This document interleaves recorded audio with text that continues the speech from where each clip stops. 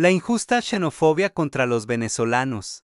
La injusta xenofobia contra los venezolanos. Todas las xenofobias son injustas, no hay excepción, pero en particular en este caso nos referimos a la que hoy tiene lugar algunos países. La xenofobia contra los venezolanos es particularmente injusta porque Venezuela ha sido históricamente una nación de refugio de migrantes donde los recibió con los brazos abiertos, permitiéndoles recomenzar sus vidas mientras sus países de origen atravesaban cruentas situaciones precisamente como la que hoy aqueja a Venezuela.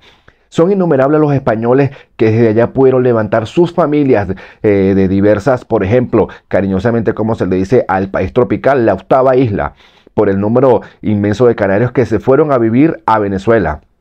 Portugueses, italianos, franceses, alemanes, en fin, naciones de toda Europa y Asia encontraron el sueño americano al sur de ese continente, al norte del sur, como diría Franco de Vita, ni hablar de los colombianos, peruanos, ecuatorianos, chilenos y prácticamente ciudadanos de toda la región. Venezuela ha sido una nación con puertas abiertas de par en par para el gentilicio mundial. Es sumamente injusto que hoy día en algunos países los venezolanos estén siendo agredidos y expulsados cuando hoy necesitamos humana reciprocidad malagradecidos, ¿no? Ahora bien, los venezolanos estamos conscientes de que nuestro país atraviesa su oscurantismo. El chavismo ha significado un rotundo atraso a las instituciones públicas, convirtiéndose en despachos del partido del gobierno de la Unión Socialista del PSUV. La institución eh, de despachos eh, ha imposibilitado al modelo eh, cubano que se apoderó de Venezuela, según dicen algunas personas, en las últimas décadas.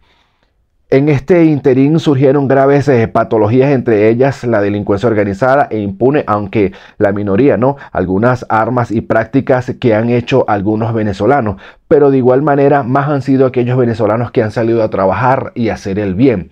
En este caso, han sido más las estigmatizaciones que han hecho con los venezolanos, pero de igual manera sabemos que esta nación se va a levantar porque bueno, de igual manera hay una guerra también mediática que todo lo que sea de Venezuela, lo que sale por los medios de comunicación es lo negativo. De igual manera nosotros como venezolanos tenemos las puertas abiertas cuando nuestra nación vuelva a florecer y vamos a decir Bienvenido a Venezuela. ¿Qué opinan ustedes de esto? Déjamelo en tus comentarios.